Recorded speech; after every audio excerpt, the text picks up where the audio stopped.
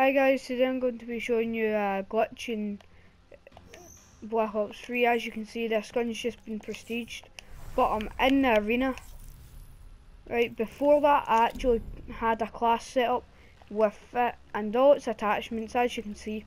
Level 1 has 6 attachments, but look, when I go over them, says I've not unlocked them. So that's me got a class glitched out with all those attachments although I've not unlocked them yet, and I can still unlock them. Same with my Locus, I've done it with that when I prestiged it earlier. And I'll soon be doing it with my Kuda. All you need to do for the glitch is put all the attachments that you want to keep on the gun and then go into uh, just create a class like I have Right, just all the attachments you want to keep. I've only got six attachments because I'm trying to do a camo challenge for gold. Right, and then finger.